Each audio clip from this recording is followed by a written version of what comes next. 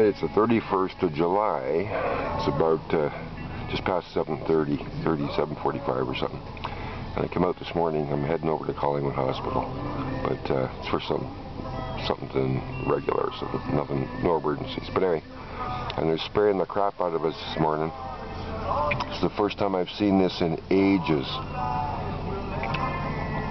There's the big X.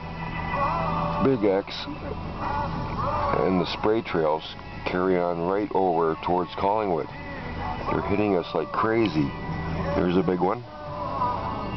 Like these are huge and they're early. That's why I've been missing them. I guess. But they're everywhere. It's like they're they're coming back with a vengeance again today. Why today? Anyway, so I thought I'd catch that. As you see, they're big X.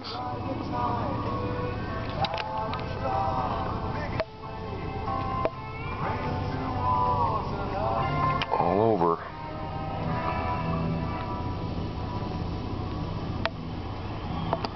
Anyway, I'll try and take some more a little closer to Collingwood.